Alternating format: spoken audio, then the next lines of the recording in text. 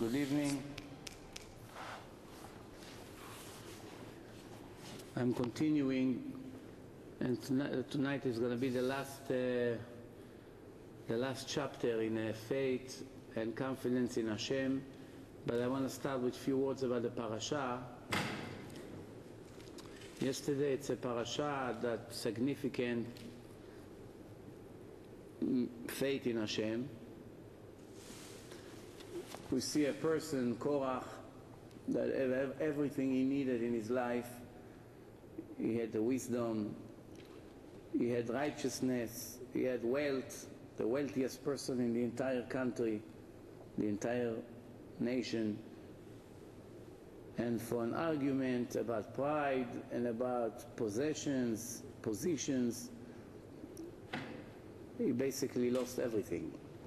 The Gemara writes that the Chachamim were arguing if Korach, after his hell, after he will finish his hell sentence, if he will have a part of the world to come or not. So some of the Chachamim say yes, some of the Chachamim say no. The question is, what is the source of the argument? Because if he was wicked, as we all saw, he ended up as a wicked person, even though he was righteous until one point of his life, just the fact that he made such a big machloket with Moshe Rabbeinu, and he persuaded 250 chief rabbis of the generation to come with him and make such a revolution and such a fight, he ended up as a wicked person. So the Gemara says because his, his sentence in hell was to scream Moshe Emet v'Torato Emet. Moshe is true and the Torah is true.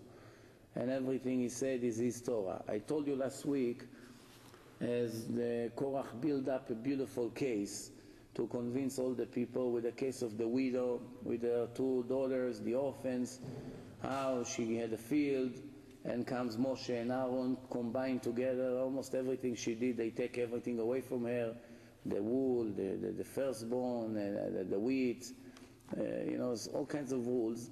And he built it up like Moshe made it up himself. But we have to understand, because remember, the, the entire country, we are talking in a situation that they already saw that God nominated Moshe Rabbeinu to be the leader. So it's hard to understand why after everybody saw that Hashem nominated Moshe to be the leader and Hashem said that Moshe is 100% faithful, and he's honest and he's decent and he's humble and all the rest of the of the greatness of Moshe Rabbeinu brought in the Torah, why they still were fooled after Korach to destroy their life and eternity. And the point is that we see one interesting thing here. People asking, how is it possible that in the old days when we read in the Torah that, is, that a portion of the nation of Israel were able to worship idols. How is it possible? If you take a person today, a secular Jew, that does not believe in anything, and tell him, here is an idol, come bow down to the idol, the chances that he will agree to do such a thing is close to zero. It's almost impossible.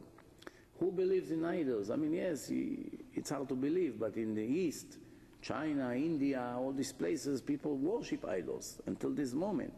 But in the modern world, in Europe, in the United States, in Israel, eh, in Arab countries even, nobody really worship idols. And this is today when we are nothing compared to the generation 3,000 years ago in our level. So how is it possible that people go and bow down to idols and some people took their babies and throw them inside the fire to sacrifices to this idol knowing they build the idol? Doesn't make sense. So what do we see from here? That every generation had a different test than the other. Each generation has certain things that were very difficult for them.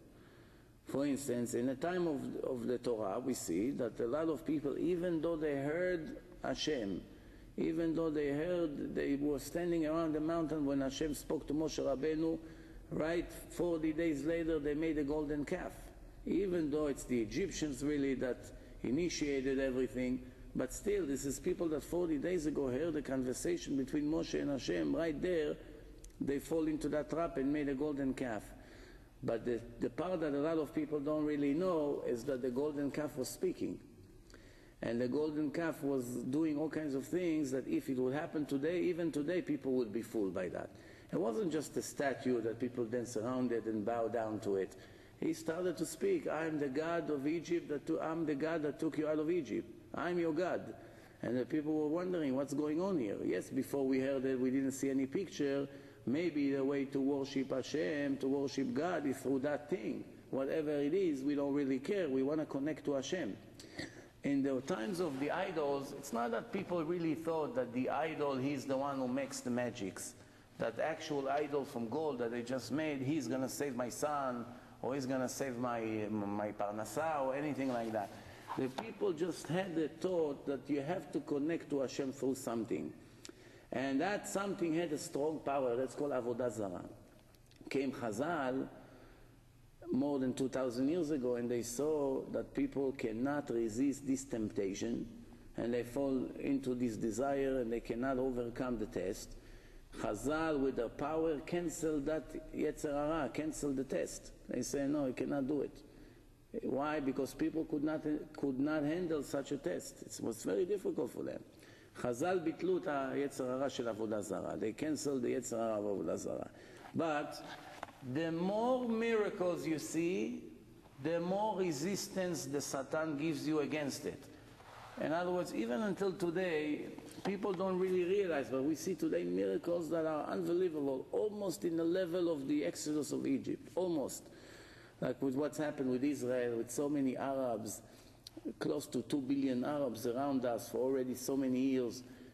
Every second they plan how to destroy us and they're trying and they're working day after day, night after night. Millions of people are planning how to destroy the nation with five, four, five million Jews over there. It's hard to believe. It should have been gone way, way, way back to begin with. All the miracles that are happening, people got used to it talking about 39 Scud missiles that fell in Israel. One of them fell in the center of all the gas, and a week before they moved to the new station. That means if that stay there, the entire Israel will go on fire. So many miracles, but the people always have explanation. Oh, coincidence. That's the way it should be. Uh, and, and, and in the beginning, people are impressed. But right after that, they begin to have second thoughts. And who brings the second thoughts is the, the Yetzer Hara. So it is all about the test. We see with Avraham Avinu that the Torah says, After whatever the conversation and all that the Torah, what the Torah described, Hashem comes again to Avraham and tests him. האלוקים נישא את אברהם. נישא means ניסיון. מה זה ניסיון? means a test. So I'm just testing you, playing, playing with you hide and seek. I'm telling you one thing, and then I'm hiding, and then you begin to think, oh, I'm gone, and you start, you know, you start losing the feeling that I'm around you. So I want to tell you something. When you ask a lot of people, what's the purpose of life? More or less, you're going to hear different answers. To learn Torah, not to waste time, to do a lot of mitzvot, to do gmilut chasadim, to gain as much as points as you can gain. It's all correct. Everything is correct. But what is the, if you can point on one thing which is the highest above everything, it's to search for Hashem and find Him, and from this moment on to make sure that every second of your life you glue to Him, like when you glue something with crazy glue, you cannot take it out anymore. This is the test of life, but this is the hardest thing in life. But it's only very difficult in the beginning. It could be a point in the life of a person that he proved himself, like Avraham Avinu. From this moment on, he's out of the darkness into the big light, and his life becomes sweeter in spiritual way than anything you can imagine. And that's even before we are going to the spiritual world. We are talking here. A person can achieve such great pleasure such great feeling by elevating his faith, confidence, and recognizing that every little things that happen to him, mamash, is the hand of Hashem. However, and a person start to make repentance and is starting to change his ways, he's very far from that level. Because in the beginning he thinks that a lot of the things that are happening, it's either him or his people around him and somebody helped him and somebody ruined it for him but the idea of the person to understand there's something that we always say, En od milvado. There is nothing, nothing, nothing by God. Everything you see, it's really a cover up. It's an illusion. It's another layer and another klipa and another shell and another thing just to hide the power that moves everything around. And the goal of a person is to recognize a lot more and more and more until you get to the source, to the root. And that's when you see who pulled the string, which is Hashem. You may be one day the guy that works with you in the office. He is the one who owns your parnasa. The next day it can be somebody on the road. The next day it can be a bank that decided to do something and you're out of business. There's always somebody. But all these people really are like dust in the wind. They look real. You think that they did something, but they really did nothing. It's Hashem is doing it, and Hashem is putting a new custom every second in your life. One time he comes like a goy, one time he comes like an animal that did something to you. One time he comes like your brother that you promised you something and he did not fulfill what he promised. Hashem has millions of millions of ways to cover you, but the idea for you is to know no matter what you get is really not that person. Now, once you get to this level, it's very, very difficult from that moment on ever to be depressed or upset a person that gets to this level, the chance that he will get ever again in his life upset or angry, it's very, very low. Why? Because when Hashem is speaking to me and I recognize the message that He sends me, do I have the guts to argue with Him? To complain to Him? To tell Him you're not fair? You are not judging me fairly? You're not right? You're wrong? You miscalculated the punishment that I deserve? Who's going to say to Hashem? Why we are always complaining? Because we are connecting to Hashem through a middleman, and that's a big problem. That's already Avodah Zarah. The mind of a Jew, once a Jew knows that I am aiming to Hashem, but there's somebody on my way, which means is this messenger, or that rabbi, or that postman, or that neighbor, or through anybody, doesn't matter. Once you are aiming to Hashem through someone, that automatically shows Hashem that your level is very low. When, we, when the Torah comes and tells us, Ve'afta et Hashem Elokecha, you should love your God. First of all, did you ever see, yes? Uh, you just said that there's no, no one should be on our way to connect to Hashem talking about Korach, who claimed that everybody is holy and there's no need in uh, Moshe Rabbeinu? Is that a contradiction? No, there's no, never in the Torah any, any obligation to connect to Hashem through Moshe Rabbeinu. Not, not at all. The prayers of all the people are going directly to Hashem. And whatever happened, they know, they have to know is Hashem 100%. But Hashem put Moshe Rabbeinu in charge to give the orders, to be the delivery guy. He delivers the messages to the nation. Why? Not ev- Hashem wanted to show you first of all that not everyone is in a level to speak to Hashem. You know, yes, you can speak to Hashem, but when Hashem comes and speaks to you face to face directly and you hear His voice, or He give you a direct message, you have to be in a special level. If you're not in that level, you can scream until tomorrow. It's not going to help. So now, since we are not in a level to speak to Hashem, in the old days, we had Moshe Rabbeinu to tell us what Hashem said. And today, when we don't have Moshe, we have his, his letter that he left us, the Torah. That's it. Without the Torah, we would be really lost. If we wouldn't have today the Torah, the maximum we could get is to the level of Avraham Avinu that recognized there's a creator and there's something, something here, uh, somebody here that puts the order and there's a purpose for the creation what is the purpose of the creation, we wouldn't have any idea. We wouldn't know.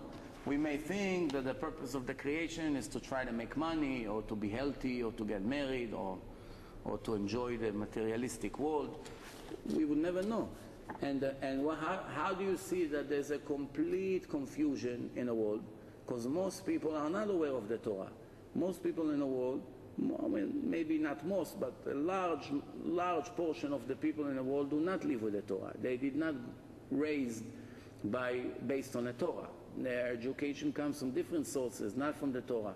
Therefore, these people even live 60, 70 years of their life with such a doubt, and they don't really understand one dot of what they have to know or to do here in this world, whether they're Jews, whether they're not Jews. They live 60, 70 years and they really don't know where they have to head to.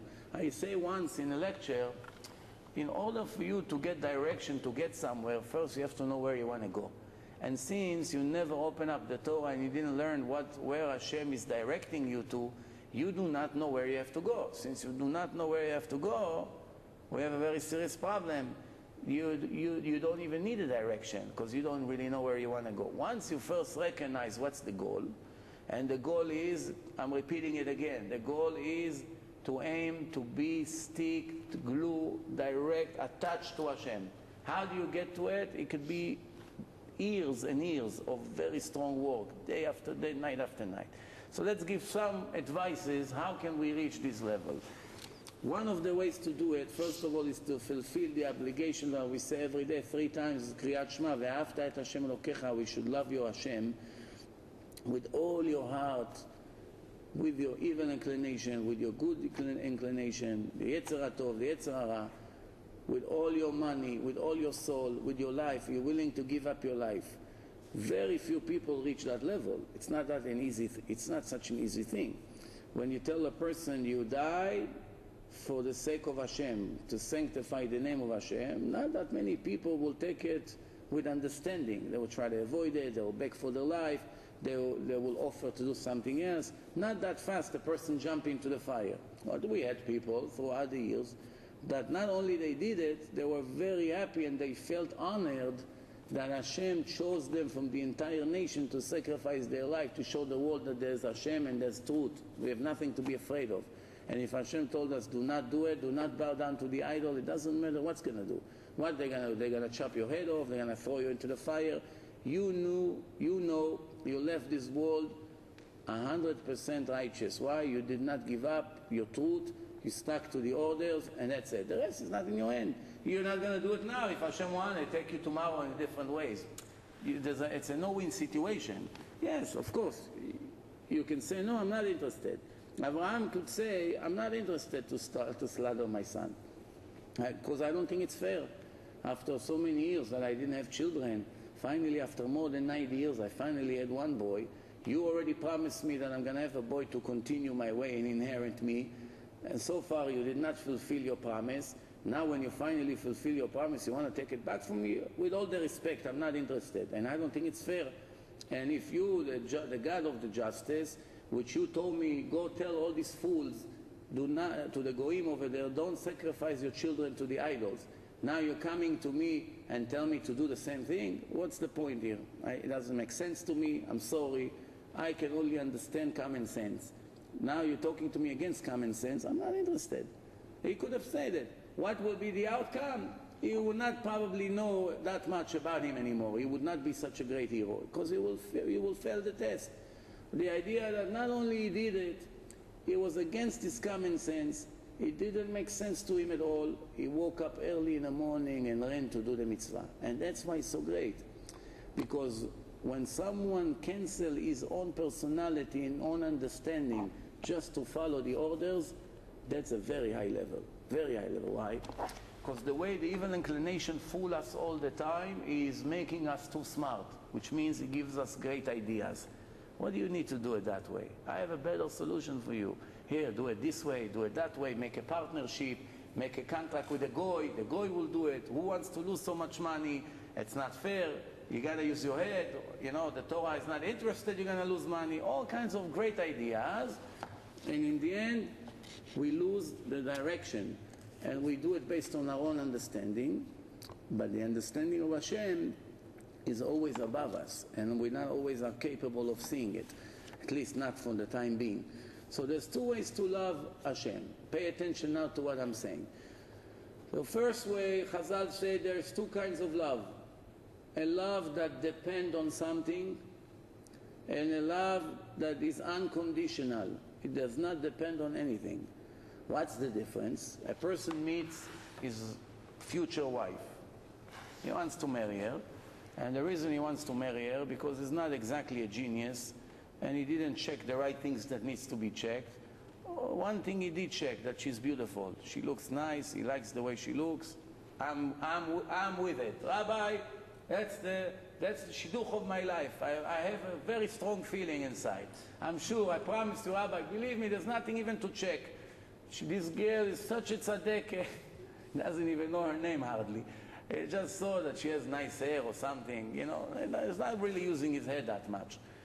So now, he found something that he liked in her face, image, body, you call it whatever you want, or maybe he likes that she's wealthy or she has a good job, whatever.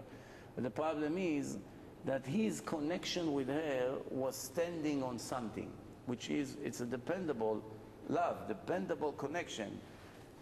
Once that something disappeared, for instance, if she, he, he liked the fact that she's a slim girl, she's really skinny, you know, thin, and one day she gained weight, that the only thing that connected between them disappeared, there's no more connection.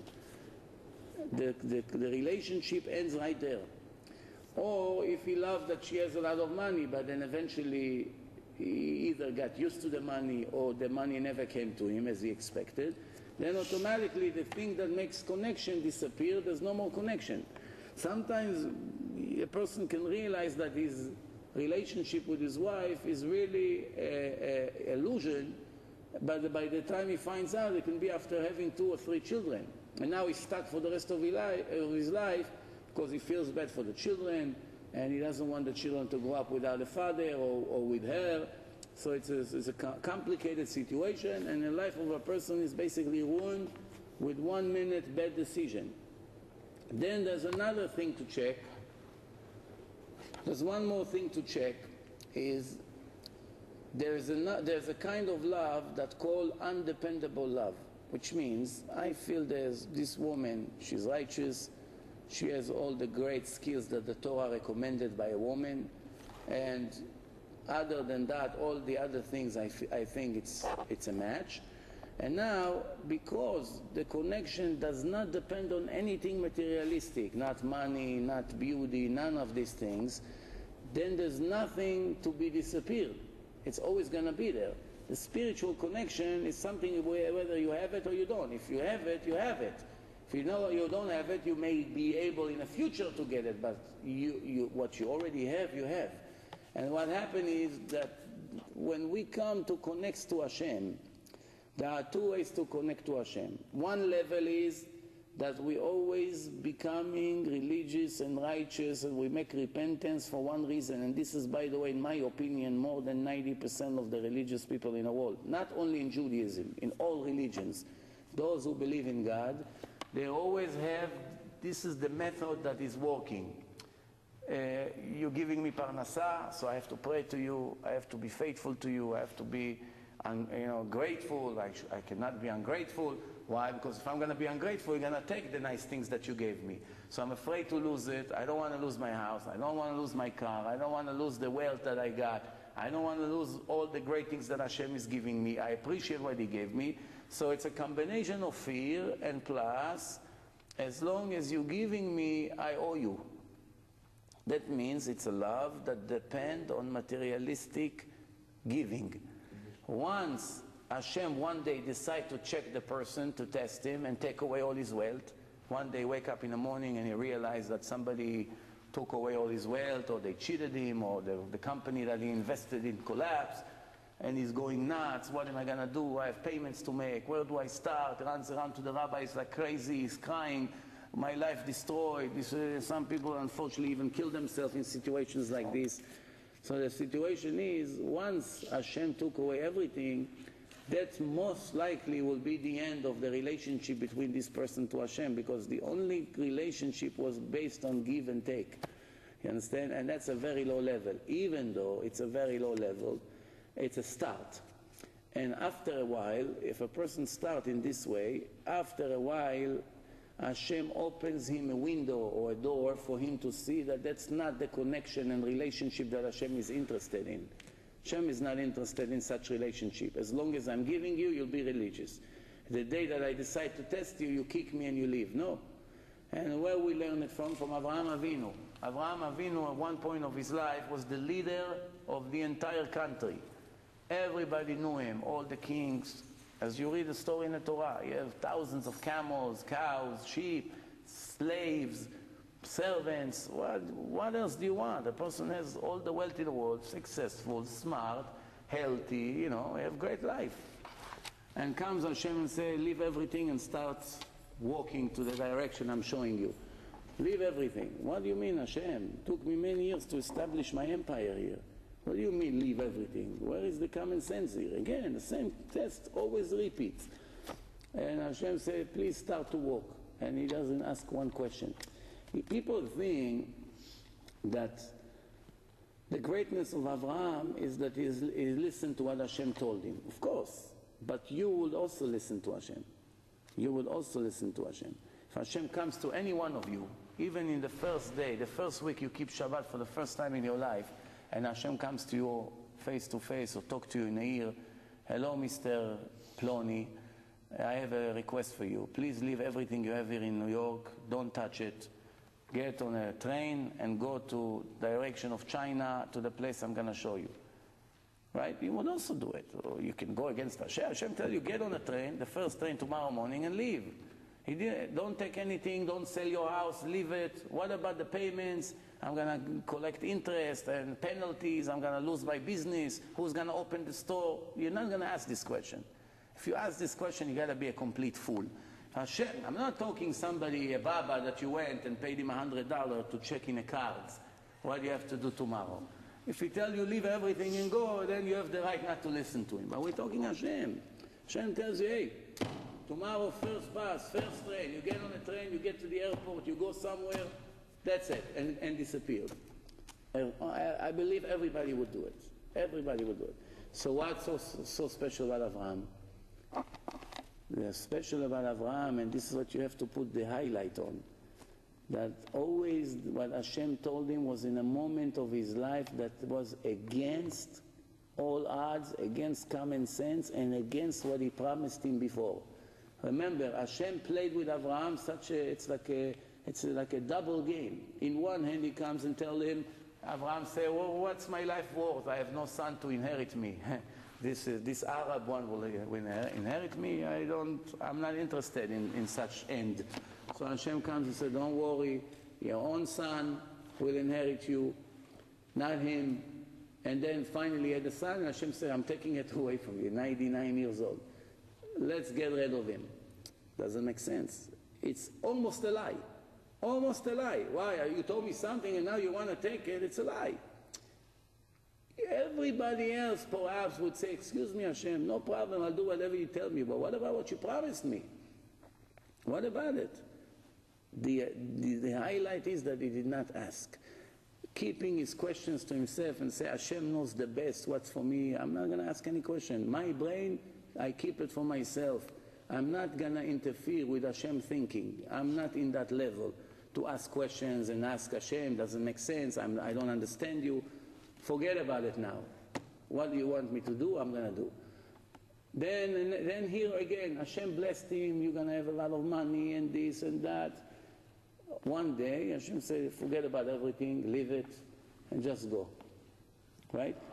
Of course, he took his wealth with him, he took some of it, but the idea is that you establish yourself in one place and everybody knows you, and then in this age you start to go to a place you don't even know where you're going. That's a very big test. And the minimum we should have said excuse me, Hashem, what about being here? I'm making people religious. I establish myself a great reputation. I have a motel here. People are coming. They're learning about you. I give them bread. I force them to make a bracha. Thanks to the bracha, they know that there's Hashem. What about all the mitzvot I'm doing here? Not one question asked. That's Avraham Avinu. Now you understand why all three major religions all consider him as the foundation of the religion. Monotheism. Believe in one God. Avraham Avinu is the founder of monotheism. Comes Chazal and says like this. Once this something that connects you to Hashem will disappear, you really don't have connection. If you stay in this level, your relationship with Hashem is temporary. It's just a matter of time until in the first test that Hashem will give you, you basically would lose everything. Therefore, you must put all your efforts to move into the next step. If you don't move into the next step, you're ending up this life of yours in a very low level. You'll be very disappointed when you get there that Hashem show you, listen, you always pray to me because you were thinking about your parnasa. And that's basically all your prayers was. If you connect today, uh, what's the name of that machine that you connect to the brain uh, in hospitals? It shows the, it measures the brain waves. You know, whatever. If you, if there was a way to connect something to your thoughts and the machine display what goes into your mind when you pray, you'll be surprised. 99% of the people, most of the prayer is with one thought. Do I close my deal tomorrow or do I don't close my deal tomorrow? Will I get that house for the price I want or I won't? Will Hashem send me the million dollar in the lotto tomorrow or not? Will He give me the job I wanted? Will I pass the job interview? Will I make money? How many customers will come to the store? How, how much I'm going to get for it? All kind of, always about this. Parnasah, sometimes about health, but everything egoistic. Pay attention. How many people really come to the prayer just to sanctify Hashem? Yes, Parnasah, no Parnasah, yes, health, no health, who cares? That's not my job to worry about it. I want to do what I was made for. What? To praise Hashem, to be close to Him, to show Him I'm a faithful son. Whether He gives me, whether He doesn't give me. If He gives me, I enjoy it. He doesn't give me, that means that's the right thing I have to, uh, to uh, that's the right situation I gotta be in right now. I have a wife, beautiful. I don't have a wife, also beautiful, equally. Ah, it's difficult. It's difficult. It's easy to talk. It's difficult. No problem. If it's difficult, now you're earning. If it's not difficult, you're not earning. To earn reward, it has to be difficult. Lefum tzara according to the sorrow, this is how much the, the, the reward that you're going to get. Yes? Now, does it exempt us from one? From the, no. Yeah, that's, that's what uh, it seems to be. I have to tell you something. The Torah says, "Akol bidei shamayim chutz mirat shamayim." Everything is in the hand of Hashem, except being righteous or wicked. Now, when a person has a mitzvah to find a wife and establish a home, right? So he must do some kind of efforts. To hide himself in a box for a hundred years, and then come to Hashem and say, "Hey, what do you want from me? You didn't, you did not send me my wife into the box." I was hiding in the basement under the ground for 100 years. It was your job to send her through the window. I don't know. You make a tunnel and send her into my, into my bunker over there. Hashem would laugh at you. Who are you exactly? Are you Rabbi Shimon Bar Yochai? You want to hide in a cave and I'm going to make you a tree grow? When you be Rabbi Shimon Bar Yochai, then you ask me why I didn't send her to you. But in the meantime, you're not Rabbi Shimon Bar Yochai. And the minimum you had to do is to put some efforts. Now, this is the, the biggest question in life. How much efforts? Exactly. Oh. So there, there's a formula. It's not so c- complicated. According to your level of confidence in Hashem, this is the amount of efforts you have to put in every transaction of your life. Which means, if you reach a very, very, very high level, you'd never worry about tomorrow, about the payments, about if you're going to have food tomorrow or not, you're going to have money for Shabbat. You're not worry. I'm going to worry. Hashem puts me here. It's obligation to feed me. He doesn't want to feed me, I'll die. That's, it's, who am I to calculate? It's for me. It's for. It's not for me. I'm gonna lose. I'm gonna make. Forget about this. You wanna. You want me here. You want me in a test. I have to focus on my test. What's my test? To be righteous. To get close to you. To cry to you. To pray to you. To get to a level like the books always comes to the same point. To talk to Hashem as much as possible every second of your every second of your day. Whether you walk in the street, whether you're in a train, whether in your car in traffic whether you're in yeshiva, whether you're in a, in a house, whether you, you with your children, you push it every five, ten minutes of your life. That means your life, your entire life, you are glued to Hashem and thinking about Him all the time. If you get to this level, you are almost like David HaMelech, almost. So the point is like this. If that's the goal, if that's the goal, what difference does it make if I'm rich or poor? Poor people can also talk to Hashem can also learn Torah, can also think about Hashem 24 hours a day, except the time that they sleep.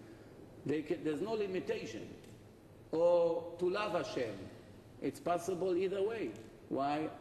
If you know that everything that Hashem does is for your own good, what, what, why, what reason you're going to have to be upset? Because it's painful right now? Because you're sick? Because you're lonely? Because you're bitter? all these feelings come from the same problem no confidence in Hashem, no faith. Once you know that Hashem, obviously, I'll give you an example. Take the person that suffered the most. Anybody you know that really constantly suffer, non-stop, hospital problem, mental problem, parnasa, health, everything is wrong by him. Nothing that he does is successful, right? If that person, which is already broken to millions of pieces and his heart is dead, if Hashem come to him at one point of his life and tell him, listen, everything I do to you will get you to a very great place in the world to come. Keep up the good work. Don't give up. From this moment on, how is life going to be? Hashem, give me another one on my back. Take more of my money. Delay more my shidduch. I don't care. Whatever. You already told me it's for me. But when it's in the Torah, we're having problem to believe in it. But when, but, well, listen, if Hashem would come and tell you directly, you believe it. But when you see it written in four, five, six different places in the Torah, that Hashem does it to you because He loves you and He wants you to get closer to Him, and this is the only way, and I repeat, the only way to get close to Hashem is with problems. If life is smooth with no problems, no shake-ups, there's no way to get close to Hashem. Unless if you're such a Talmid Chacham and you still learn Torah non-stop, then it doesn't matter what your situation is. But most people are not like this. And the only time people have time really to start talking to Hashem and beg them when they need something. And when, when you don't need, that means Hashem gave you everything. When Hashem gave you everything, basically closed the door for you. Why? Because you don't need Him. You're okay on your own.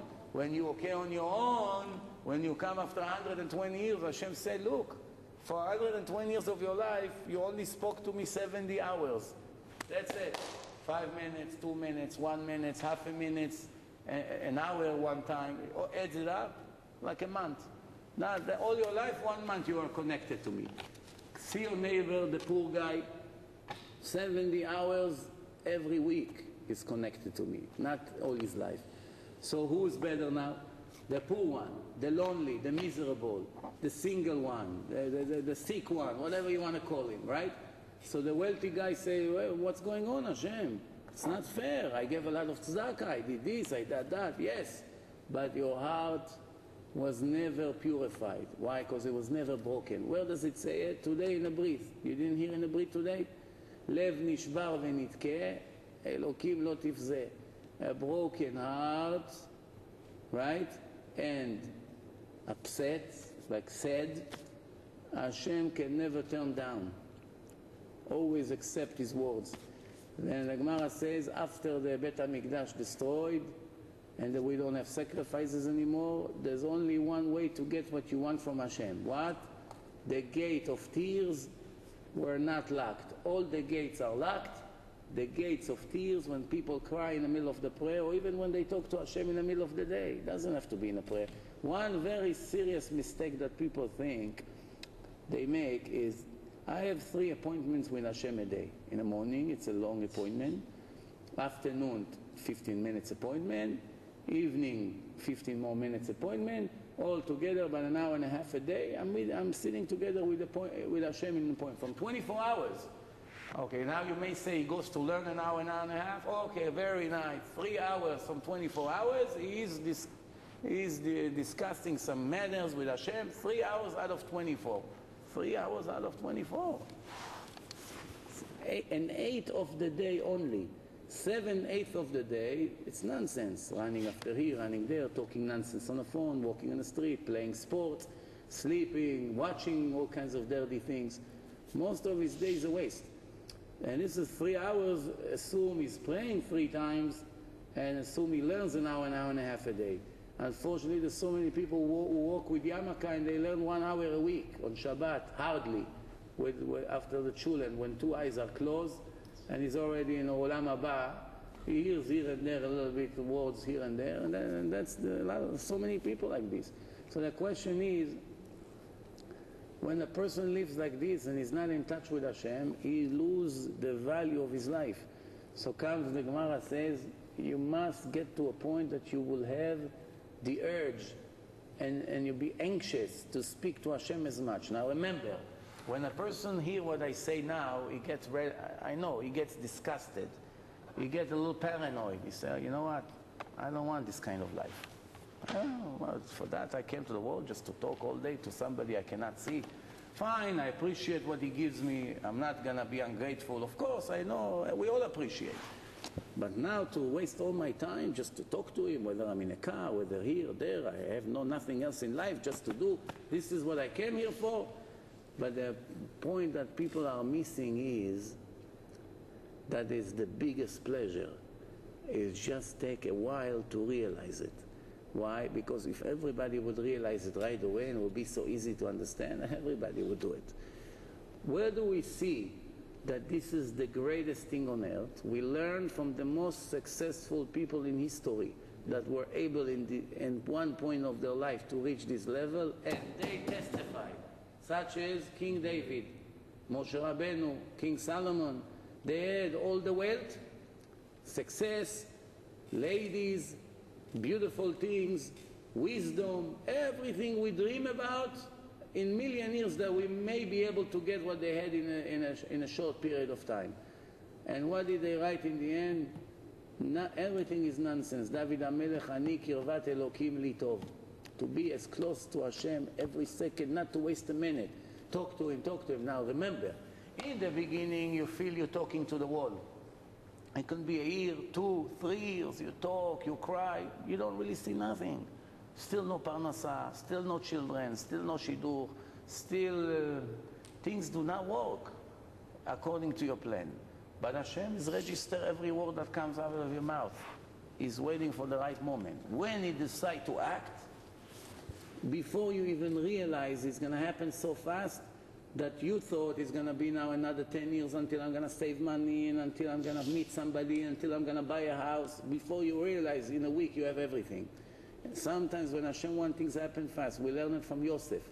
Yosef, 12 years in jail. When Hashem decided to take him out, right away the Egyptians run, they, they give him a haircut, bring him to Paro, everything with running, running, running. A month later, he's the king of the entire world. A month ago, he was in jail. Think about it.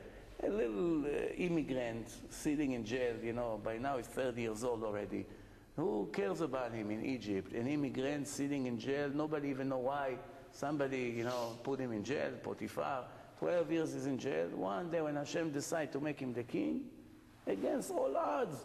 Think, just think for, for a minute, if somebody would be an immigrant from Mexico, would be in the United States in jail now, right? For 12 years. Why? Because he started to have, uh, you know, like uh, discussions with the wife of somebody from the White House or something. I don't know, from the Congress maybe. And then one moment, all of a sudden, he comes out of jail. He comes, he speaks to the president. The next day, is the, the vice president. something like this. If you ask the average people in the world, what's the chances something like this will happen? Not even zero. Below zero, right? It happened? Yes, it happened. Why you have all these stories in the Torah? That Hashem said, remember, all you have to do in this world is forget about your status in the materialistic world. Put it aside. Focus on getting close to me. Another step. Push. Don't give up. Don't be lazy. Push it more. Push it more. Push it more until you make it. If you don't make it, you fail your life. You can be a big Talmid Chacham, you know a lot of Gemara, you know to give lectures, you know you maybe you have a lot of wealth, but you're not davuk bi, you're not speaking to me the way the Torah orders you. Yes? Now, before one, for instance, uh, Arhab, what should he do with the Talmudic statement of uh, defining someone who, who has no wife as uh, not considered Ben Adam? That's if One, one thing. I, on a more national scale, uh, that uh, you don't have basic English a lot of mitzvahs are associated with, uh, with. How do we get close to Hashem without having? okay, let me tell you, you know, there's certain things in the Gemara. The Gemara says someone who's poor is considered like death, right? The Gemara says someone who is blind is considered like death. Dead person, someone who is deaf is worthless. There's a lot of expressions like this, right? One of the expressions is someone who doesn't have children is also considered like dead person. Or someone who doesn't have a wife is not complete. Okay, all those things are nice and they're all correct. But you have to know one thing. Above all these statements, there is one truth that everybody aiming to the same truth. That when you come to this world and your goal is to get close to Hashem, or everything else does not bother you a bit. It only bothers the average people that they thinking, kochi ve'otzem yadi. Whatever I have, I'm a partner on reaching it. It's me and Hashem together. I did, and Hashem gave me siyata dishmaya. You hear it by the biggest rabbis. I have good siyata dishmaya in business.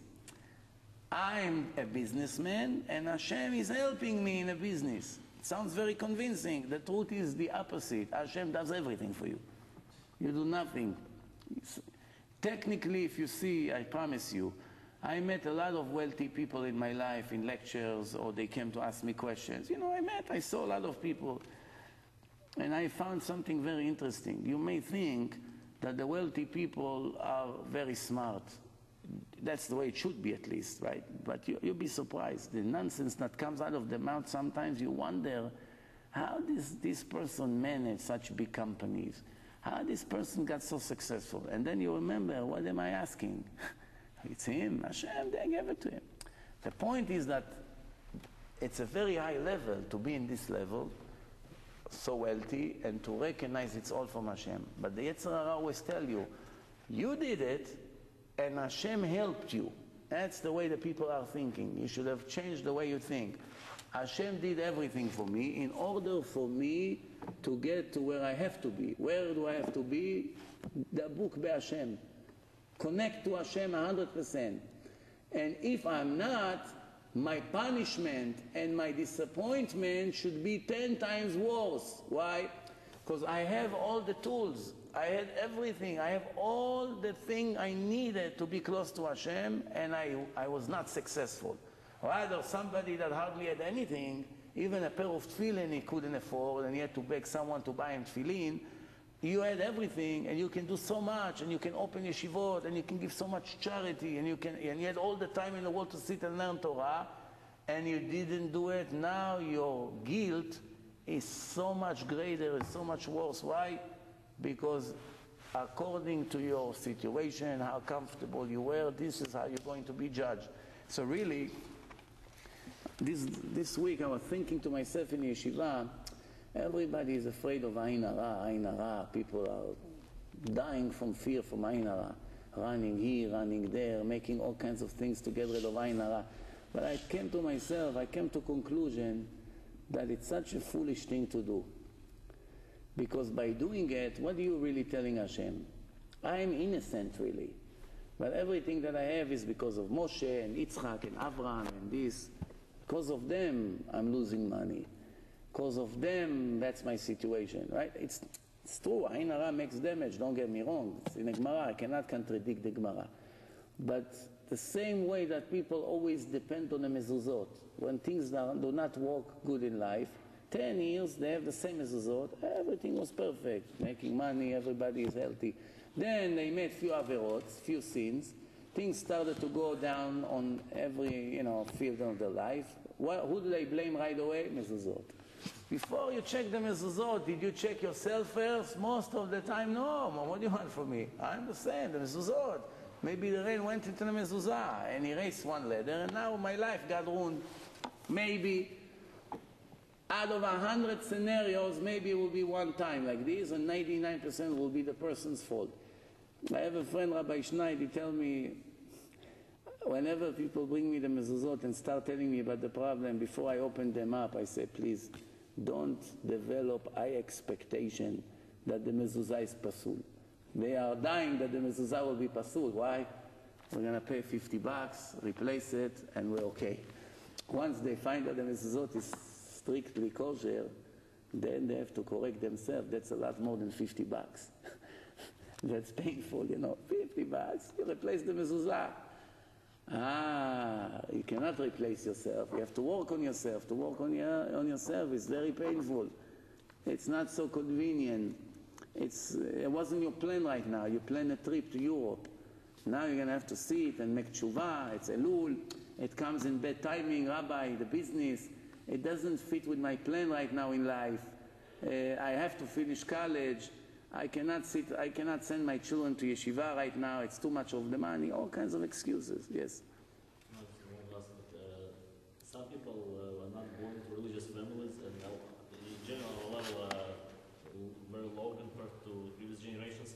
So, and it's not our fault. So, how do we expect to get close to Hashem?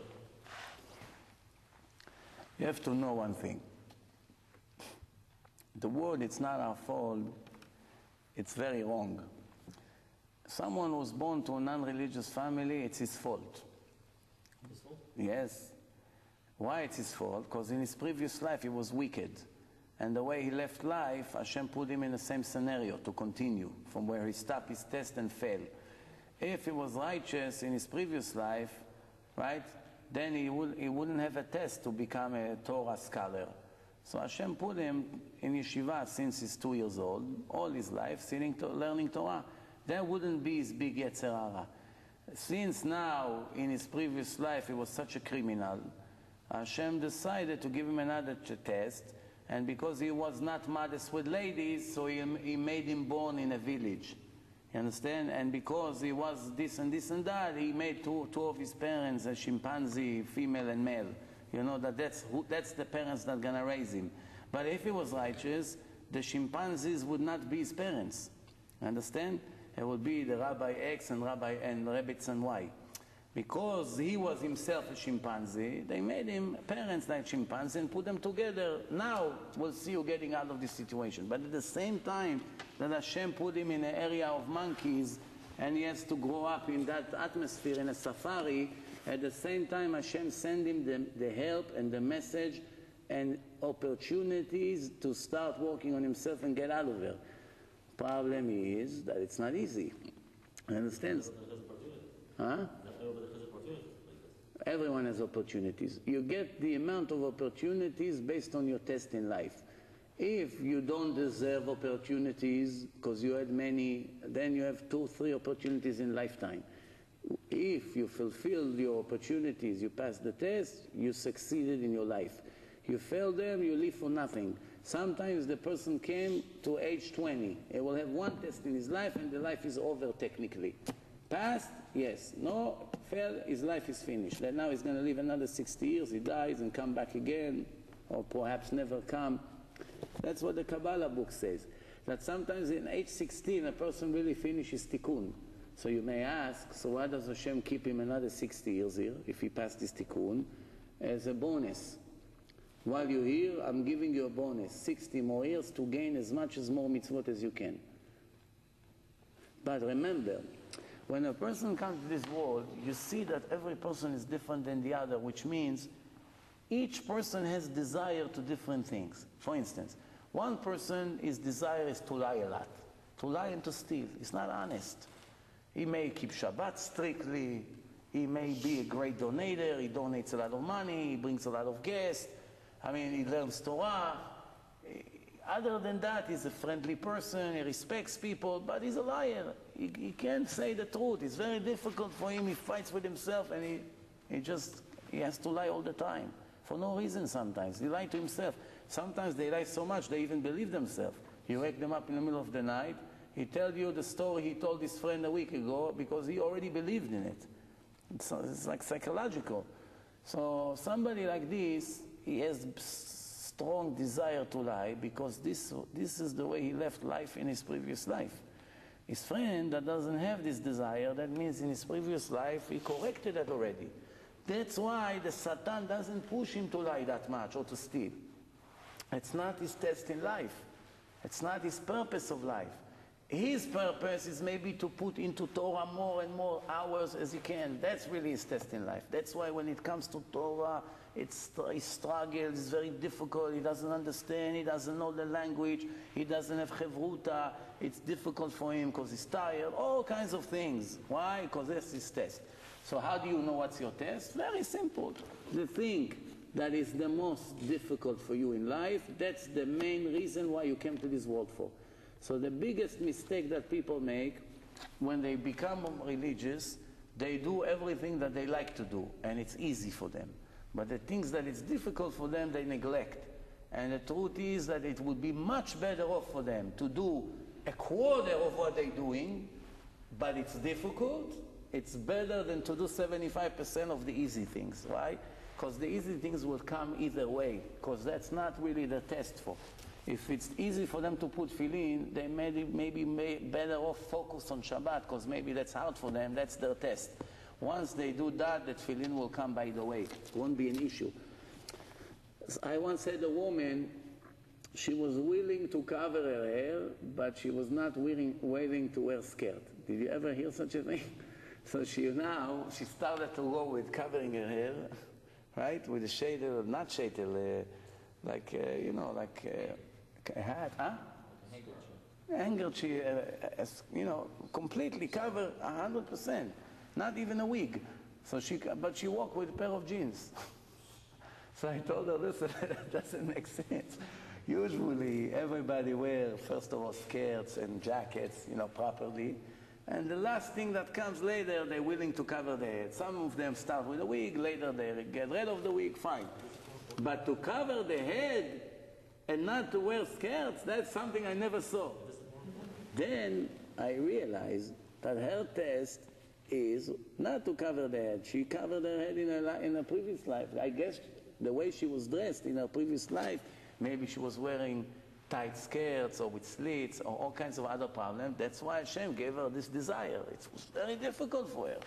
Very difficult until I show her what happened to women like, there, like her after they leave the world. Once she started to read, she said, okay, okay. She, regretted that she came for Shabbat with her husband, you know. But now she already, that's it, she was in the trap. She couldn't run away from the truth, and that's it. Baruch Hashem, she's uh, already many, many years modest and all that. But also, it brings me to explain something else. Some people are religious because of the fear from the punishment. It's also a low level. But the truth is that a person really doesn't have a way to imagine the punishment in a proper way. He hears, he reads in a Gemara, he reads in a Zohar, he reads in a Torah that Hashem is giving se- severe punishment for certain sins. But how is the punishment going to be, and what does it really mean 100%? Nobody really has a, a clear picture. It's very hard for a person to know. So it brings a person to wake up to do certain mitzvot, but only for a short period of time, because everything you get used to. In the first month, you may be panicking, wow, Hashem's going to cut me out of the Jewish nation or send me to hell or to Kaf HaKela. Oh, it's terrible. Just from reading what I see here, I'm getting very nervous. I don't even, I don't even want to think about it. But a month later, you get used to it as well. It's the nature of a person. You get used to it. it. It doesn't scare you anymore. It can scare you in the beginning, so that's why it's not such a positive way also. It's better than nothing. But that's only the ignition. It just light something in your heart. If you're not gonna take advantage on that moment of waking up and right away run into the direction of loving Hashem, you're not gonna be successful because just based on fear is very difficult to be righteous. But I wish, I wish that we would have Yirat Shamayim out of fear than not to have at all. Right? That, that's the mistake a lot of people think. They, people say, I want to be religious only out of love to Hashem. It's also impossible. Because the Torah says, La'ava u'le'ira, to love and to fear Hashem. And the fear of Hashem is not the fear of the punishment necessarily, is the fear of the embarrassment. The embarrassment, which means how can I do such a thing when my God that supplies me with everything I need and all my demands and all my requests how can I be such an ungrateful person with no shame and do everything against them and indicates that I don't love him? What's an indication of love? Indication of love is that when you feel that you connect to Hashem and you are glued to him and you love him very much and you appreciate what he does for you, this is right away supposed to remove you from the sins. Because you have to, you understand in your brain that the more sins you're gonna do, that's the opposite transaction. On one, one way, you learn Torah, you pray, you cry to Hashem that you want to get close to Him. Please open me the door. Please remove all the layers on my neshama. Get me from darkness into the light, that the sweet love, the sweet light that you describe in your Torah for the righteous people. And on the other hand, every sin puts you one or two or ten steps away from Hashem. So you really contradict the purpose of your creation. In one way, you are climbing a few stairs towards Hashem, and just a minute later, you jump right back. and you go up and you go down and you go up and you go down. It's never end. So then you're a fool. There's no other word to describe you but a fool. A smart person goes into the right direction, not going five steps forward and then ten steps reverse. It's, problem is that it's not so easy. So what? You have to know one thing. Whatever is difficult for you, and you tried and it doesn't work for you, there's only one way to do it. To constantly ask and beg Hashem. I know this is the right direction. I know that's what you expect from me. I know that's what I should have I should have done a long time ago. But you see me, I'm trying, I'm failing, I don't like it. It doesn't bring me joy and happiness. Please, first of all, help me to get there, and then to feel good about it, and then to purify my soul and my feelings. It's all about requesting from Hashem to give you the help and the merit to reach the place where you have to be. Without praying for it, you're not going to do it. That's a big mistake. People think it's, it's a test like in math. 2 plus 2, it's 4. You, you, you write 2 plus 2, it's 4, and you don't have to pray for it. No. Even when you bang a nail to the wall, you have to pray to Hashem to make you successful. Because some people broke their finger when they did it. Or some people made a hole in a, in, in, in a wrong place. Or anything like that. People think, oh, this is easy, so I can do it on my own. But this is very difficult, so I need the help of Hashem. That's kfirah. You need the help of Hashem to move your fingers. You need the help of Hashem to think where to bang. You need the help of Hashem to know how to step, to step, to breathe. You need the help of Hashem in every second of your life equally. For, for Hashem, there's no difference if to give you, supply you with oxygen or energy to walk or the, the talent to think Everything that He does for you, it's equal. It's not this one is more difficult. If Hashem wants you to make $2,000 a month or $2 billion a month, it's exactly the same difficulty for Him. It's not difficult. It's not difficult. 2 million, 2,000, 2 billion, it's all the same. It's just a matter of decision. People think now I don't have parnasa and I need $2,000 a month, but it's no big deal, you know, $2,000 a month, it's easy. I go to a few of my friends, each one will sponsor me by a few, you know, hundred dollars, and I'm to work a little bit, and I'm to make it. It's no problem. However, if I need $20,000 a month because I have a large family and a lot of expenses, now my chances are so much lower. It's nonsense. Naturally, right. Nature, but we're not nature, we're above nature. For Hashem, 2,000, 2 million, it's the same thing.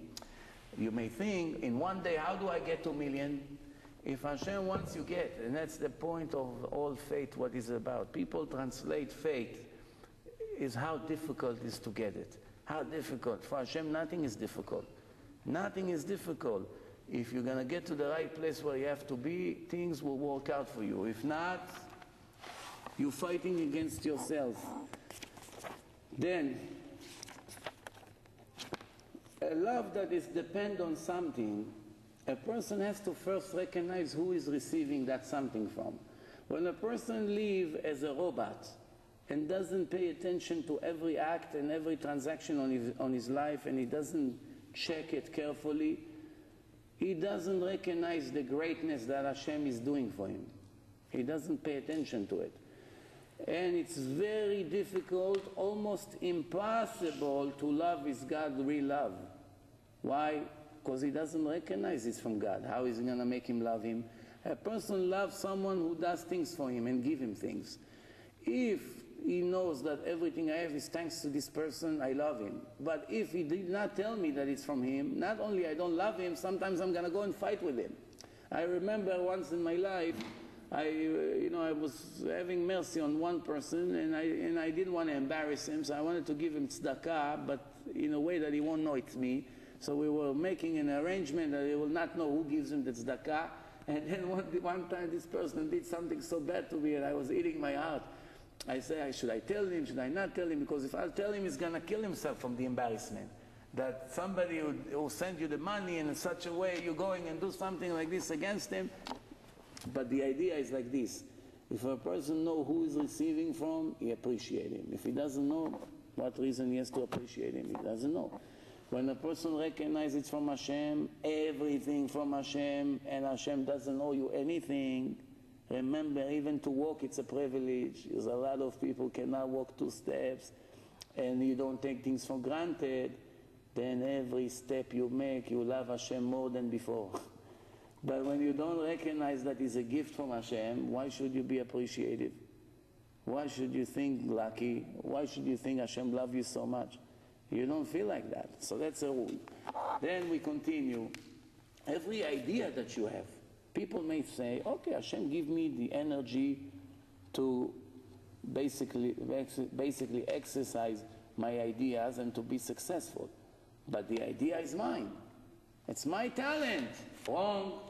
Every idea that goes into your head comes also from Hashem, not from you.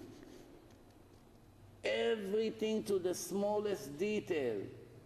First, it's easy to see the great things like children, marriage, wealth.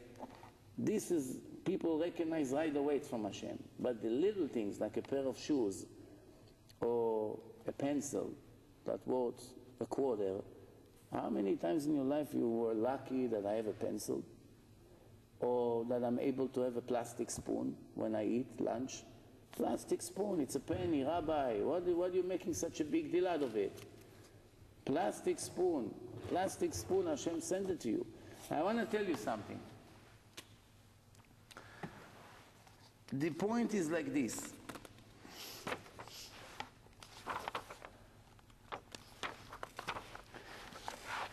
We, we know very much, we know very much what we need to do after what we heard tonight or the previous lecture, but it's still very difficult for us to wake up. So who knows now, after what you heard so far, from tomorrow morning or from tonight, how do I finally get to this level? What's, what do I have to start doing? It's hard for me to get close to Hashem. I'm far away from Him. I don't feel appreciated. I, I don't appreciate. I don't feel lucky. I don't feel the things that the Torah obligates me to feel. I don't feel in love with Hashem. I'm not sitting and thinking about Him. I don't have tears in my eyes when I think about Him out of excitement. I'm very far from the level of David HaMelech. So the question is, how do I get there? That's the question. The answer is yes. The mind follows the action. That's true. You start doing things, then automatically your heart and the mind wakes up. But there's another way. It's very correct, but there's another way talking to yourself, talking to your subconscious. It's a big thing. Talking to yourself. Don't worry, nobody will think you're crazy.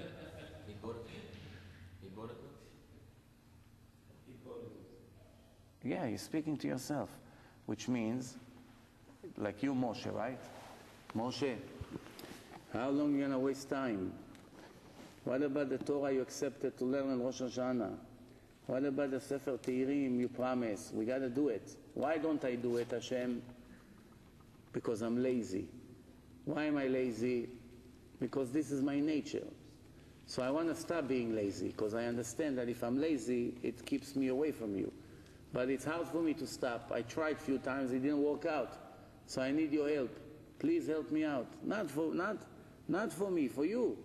Aren't you interested and I'm going to be closer to you? Yes, you talk to Hashem, you talk to yourself, you talk to Hashem, you talk to yourself. Questions and answer, question and answer until you're going to see a point in your life that it's going to open up in one shot. Once it's open up, I had the merit to speak to some of the people that one day they saw the light. Once it opened up, nobody, nobody is happier than you. Nobody. Not the, the richest person in the world. The person who has anything you dream on is nothing compared to you because happiness comes inside, in the heart.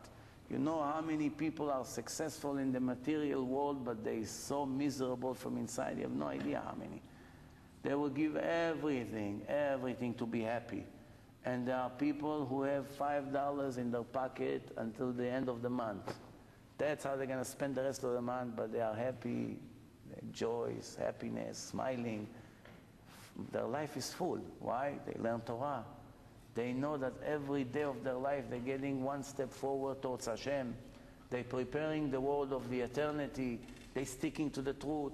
They walk in the street. I have a friend, which is in our yeshiva. He learns in my, in my shiur.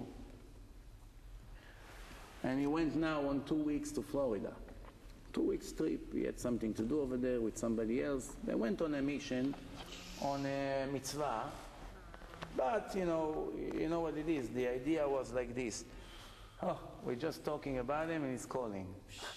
It's hard to believe. Here, his name is Isaac, and right there you can check on the phone. He's calling while I'm talking about him. You understand? You see, from Shamayim, ממש ככה. So, so the point is, he went two weeks two weeks on Flo- to Florida, and he came back to the. And, when, and the reason he went, because he told me before, I need a vacation, I need a break. I learned already, I'm three years here. I must get out. I need, I need, I need something to, to be renewed in my life. After two weeks, not even two weeks, maybe 12 days that he was there, he came back to the yeshiva. He told me, "Shh, I can't believe it. If I had a million dollar, I would pay a million dollar a day to be here. If I had it, I would, I would agree to pay a million dollar to be here a day, not to be over there. And you know what? He was going to houses, mansions, people with Rolls Royce, with yachts, with stores, with money, with whatever you can dream. And he saw the way they live, these people, and he recognized one very simple thing. These people live in illusion. Every second of their life, it's a nightmare, but they're not realizing it. Every step that they make, they're digging themselves a deeper and deeper and deeper hole. Once they recognize that every, step of their life was waste, waste of time, they're not heading to the right direction, they live with no purpose, they do not know their direction.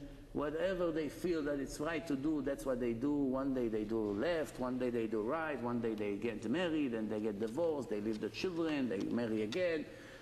Their life is such a mess and emptiness, full of emptiness. Every three months changing a car, hoping that's gonna get me out of my misery.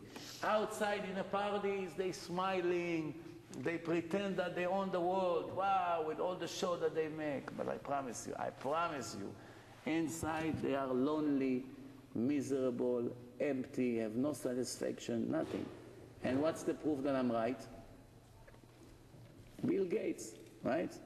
Anybody is richer than him? So far, nobody reached his wealth, no? They asked him a year ago in Israel, you the right person to, he was visiting in Israel, so the reporter asked him, you the right person to ask this question that everyone is asking. Is money bring happiness? His, answer was absolutely not. It's convenience and nothing else. No happiness whatsoever.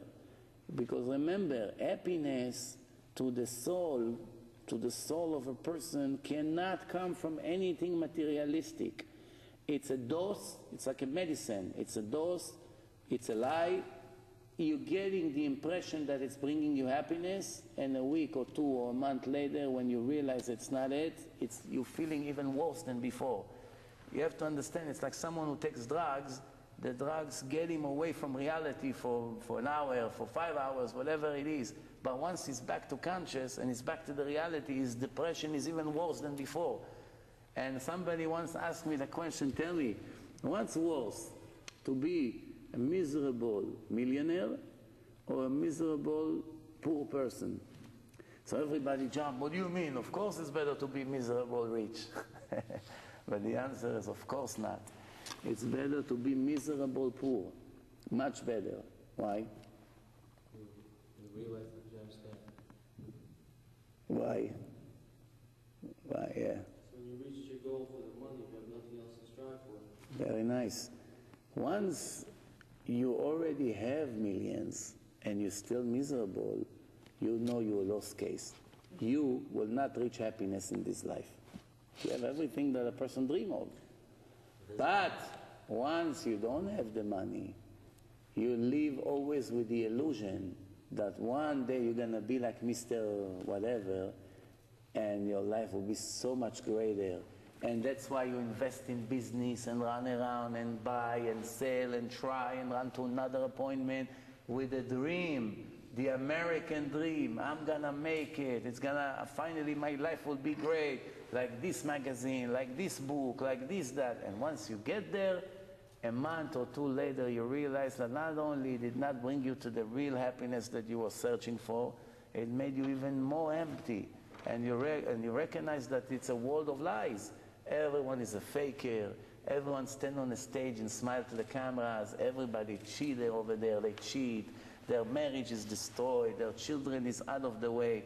What's the point? Just to have a lot of many millions of dollars in my bank account. How great. This is what my creator created me for. To save $50 million and have it in my account and walk around and feel that I'm the master of universe and the world belongs to me and nobody will tell me what to do. And in a, in a, and, that, and that period of time, all these years that he got, all this money, and he felt comfortable and he wasn't worried about his parnasa and wealth, it got him very, very far from Hashem. So really everything was against him, not for him. When he comes to Hashem with his neighbor, the poor guy, and he sees that the poor guy, thanks to his poverty, was close to Hashem with his prayers and tears and requests and talking to him. And when he had problems, he was, Hashem, why you did it to me? I begged you this. That's already a huge level. When everything that happens to you, you go, Hashem, why? Why again? How many times I beg you? Even this is, is people don't realize what a merit is this to talk to Hashem. Just to open, and it's free, free of charge. You can do it around the clock. Every word you're speaking to him, it's a big mitzvah. Whether he listens to your prayers or not, that's another issue. But people don't recognize the most important thing. The mitzvah of speaking to Hashem, whether you're in a prayer or whether you're in your car, that's already billion times greater than if Hashem will give it to you or not, what you're asking for. You're asking for money, for children, for wealth. That's important, and sometimes He will listen to you. But whether He never accept one of your prayers all your life, just the fact you talk to Him, already it's a huge mitzvah. And you're going to get a huge reward for that. And you know what? When you come in front of Hashem, you say, you know what? I just realized one thing now. Thank you, Hashem, for not listening to my prayer about that specific manner. Because thanks to the fact that you didn't listen to me, I prayed 10 years for that, for that boy, until I finally got it. For thanks to the fact that you didn't really listen to me in the beginning, I had the merit to talk to you 10 more years, hours every day. Now when I see the reward you're giving me, then I'm a little bit even upset that you gave me the boy after 10 years. Why didn't you wait another 10 years? because I would make so much more. but everything is the opposite. Remember, whatever you think is just the opposite. Why? Never dig into the ways of Hashem. Remember, when you got wealth, most of the time is against you, not for you. It will be for you if you're going to take it and do something spiritual with that. Most people, however, they don't do. Therefore, it's a poison in this life. They're eating poison every day. Again. And when you have Remember, the things that you really need to gain righteousness, it's not so expensive. Everybody can have it. To sit and learn Torah, everyone can do. It doesn't cost money, especially today. You come to Yeshivot, they even pay you money to come to learn. So it's not like it used to be 2,000 years ago. You had to come with substantial amount of money. Hey, I want to learn Torah. And they check who you are, and not everyone is welcome. They have to check who you are. Today it's easy. Every one of you say, listen, you know what, I'll take a time or a week from my daily life. I want to come over to see what Torah, what is this great Torah that you're talking about it so much? You come a week, you eat, you sleep for free. Sometimes you even get financial help, you know, if you need. And you sit and learn, and you enjoy every second, and it's already more mitzvot than you're going to do in seven years. And you don't realize it. And it's free of charge and you're also making, you're earning. And the other person, he doesn't have time to come to learn. He has 10 offices, buildings, secretaries, meetings. Where does he have time to learn? But I know some wealthy people, no matter what happened, up to 12 o'clock, they're not in this world. Your phone is off, nobody can reach them. Nobody, there's no emergency number. Uh, what, uh, the secretary asks, excuse me, Mr. Uh, Mr. X, what happens if there's an emergency? I need to reach you at 10 o'clock in the morning. Don't you have a number, a private number that I can reach you? No. Up to 12, I'm dead. I'm not in this world. What happened if I would be in a hospital connects to machines and you had an emergency at 10 o'clock? What would you do? You call the doctor to stop the operation take the machines off that I can answer the phone and tell you what to do? No. You would, you would understand that I'm not around, right? I'm not around. What happened if something happened to me between 7 in the morning to 12? That means I had to lose it. And that's why he came in that time. If I don't have to lose, it would come at 3 o'clock, the emergency. Because who sent the emergency? Hashem. So if Hashem knows that up to 12 o'clock my phone is off and I'm not around, the Torah is my life up to 12 o'clock. And he sent me the emergency anyway at that time, that's because he wanted me to lose for whatever reason that he found that it's correct. And if he didn't want me to lose, it would only be a test. He would send me the emergency at 2 o'clock and let me go work on it. Very simple. It's so much more simple. The Torah says, "Ki lo rechoka mimcha." It's not so far the mission. It's not impossible. It's not beyond the ocean. It's not above the sky. כי קרוב אליך הדבר מאוד. That's so close to you. In your heart and in your lips, in your mouth. Open up your mouth and talk to me. That's already word for you to live in this world just to open your mouth and talk to me every day few hours the more the better it's more important than anything else you do in your life and it's free of charge and it's not so difficult and almost no one doing it and the one who did it David HaMelech everybody until today 3000 years later admire him even chinese chinese i have a friend he went to the gym he saw a chinese woman read in english told her, what is this for you? King David. What do you mean? It's a very holy book. She will bow down to the cow, maybe, uh, or to Buddha an hour later, but still, she knows what King David is. Thank you very much. Good night.